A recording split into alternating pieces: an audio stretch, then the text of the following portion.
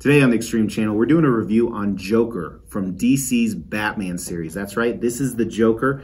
Uh, there's been a lot of talk about Joker since Prime 1 released their new Joker, but everyone's forgotten about this one. How much you want to bet the DC fanboys just shit a brick?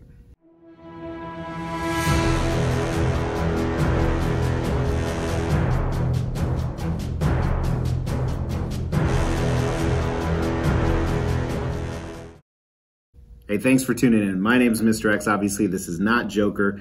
This is from Sideshow Collectibles. This is Malavestros. Uh, it's in the title. We'll call him Marv. So this is from their Court of the Dead line. It's a specific line that they own the copyright to that they created, and it's all about the underworld. I own a number of pieces from them. I've only actually, my voice just cracked. I've only actually reviewed one of them. You can check out this Odium piece right here. All of them follow that same theme of the underworld, and they're all pretty cool to be honest with you. So today we're gonna take an in-depth look at him in the Extreme Review. And Marv here is actually kind of the trickster. That's why he's dressed as a clown. He's a magician, he's a trickster. He's kind of always up to something, kind of uh, playing both sides, if you will. Not that way, both sides. And I had never had any intention of buying him. I actually purchased him after I owned one other Court of the Dead piece, but I was able to get him for a steal. We'll talk about that in value. Because during this extreme review, if you haven't watched before, we have categories. Each category, we give a one through five ranking. And as always, we start with concept. We're going to jump right in today because I'm actually traveling right now, so I wanted to get content for you guys daily up through Christmas. So not only are we going to do Marv today, but stay tuned because we're going to do some other Court of the Dead pieces. But let's start with Marv's concept. And honestly, it's pretty cool, pretty different what they did.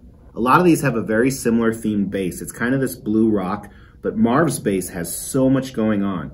You see a lot of magical elements, whether they're spell books or candles that have melted in wax, a human skull, a dagger, a feather. There is so much different stuff going on in this base.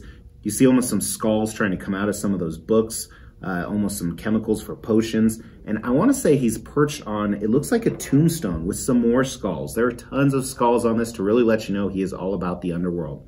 And he's in a crazy outfit, which is also lined with skulls. And as you move up, he's holding two magical parchments. You got to assume these are parchments with spells because they're actually turning into some little flying around creatures, which is kind of nuts. We'll come back to that in paint and sculpt. Part of Marv's insides are actually nasty, bloody, skull-type stomach.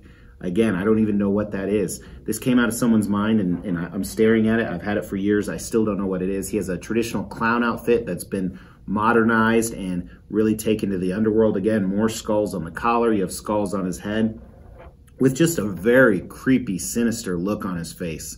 I think this concept tells a fantastic story. You can definitely tell if you knew nothing about this character, you would know that he's up to something, that he's a trickster.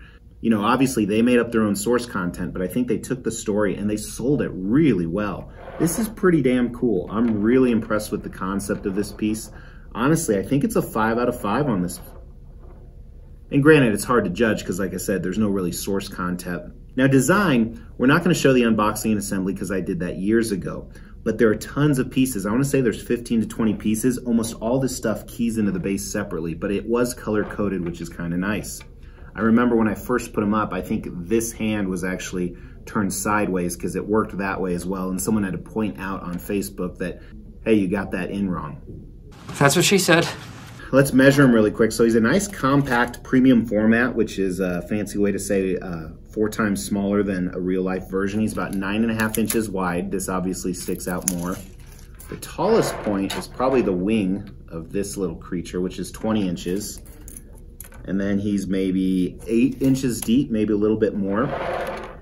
Now on my particular piece, this is the regular version, there are no switch outs, but the exclusive version that I didn't buy has a different portrait. So all the versions have this portrait right here, which is my favorite, but the exclusive had the, another skull, in case you didn't have enough skulls on the statue. Now unfortunately that did leave a nasty seam line where you put the portrait in, check it out right here. But I'm okay with it because you only see it from the side and you would only display this from the front. At least me, some people are weird. So I think the design's a four out of five. I think it's done really well. There's a lot going on. It's pretty dynamic.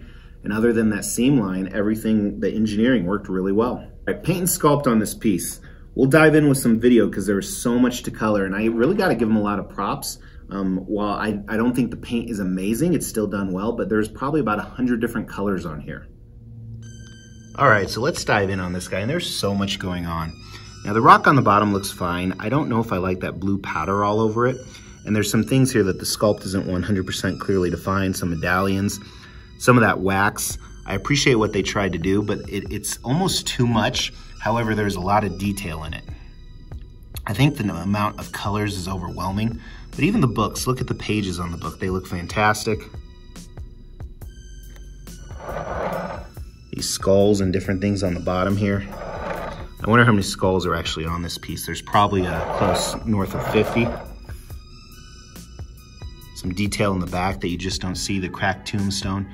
And the amount of colors they used is, is like I said, it's almost overwhelming. But what's really impressive about it is it's decently clean. And I think that's the Court of the Dead uh, symbol, almost like a pirate symbol. Then they have some of that blue speckle in his uh, boots here. Again, just a ton of detail.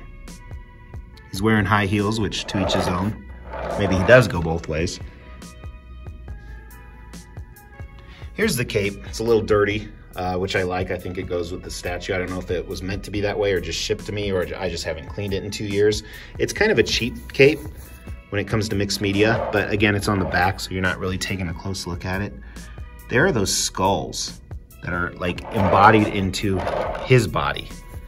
And here's them on the back underneath the cape. I like stuff like that.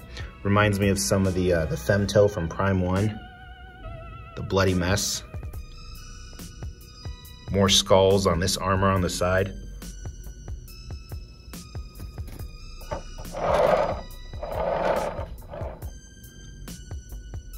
And he's got these chains down here. Everything is sculpted but that cape. Your classic clown outfit up here. Then here's those parchments. Now, this looks a little cheap right here, this plastic. I understand, so I'm not sure what material, maybe it's PVC, it's pliable. Um, if it was uh, resin or something like that, I'm sure it would have broken shipping. So I do understand why they did it that way. Then check out his collar. There's the more skulls I was talking about. I never know what this is called whenever I review a Pennywise statue, this collar right here. More skulls on his uh, clown uniform right here. And I like the contrast of the colors. There's just too many of them, I think, if you look at it like that. Portrait is done phenomenally, both the paint and the sculpt on it. Very creepy, very scary.